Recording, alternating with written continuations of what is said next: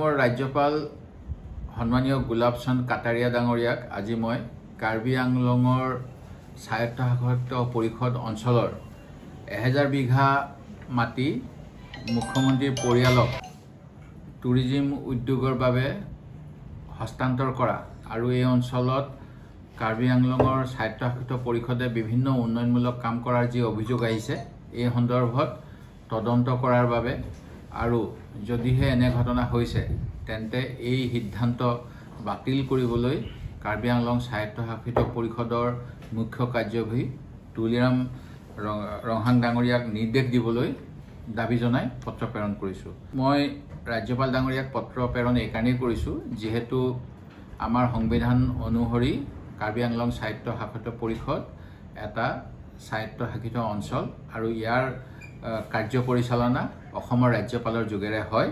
Six চিডিউলৰ ওঠৰ number দফাৰ দুই আৰু তিনি অধিনিয়ম অনুসৰি।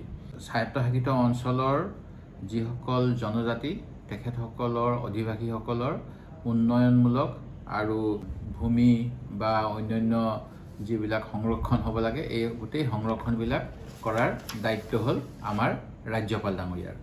যিহেতু এই অভিযোগটো অতি গুৰুত্বপূৰ্ণ অসমৰ ৰাইজৰ স্বাৰ্থত আৰু আমাৰ জনজাতীয় অঞ্চলৰ ভূমি জনজাতীয় ৰাইজৰ অধিকাৰ এই গোটেইবিলাক ৰক্ষাৰ স্বাৰ্থত অসমৰ ৰাজ্যপাল ডাঙৰীয়াই ইয়াৰ ওপৰত তদন্ত কৰি যদিহে সঁচাকৈ এনে কাম হৈছে তাৰ ওপৰত যাৱতীয় ব্যৱস্থা গ্ৰহণ কৰিব লাগে।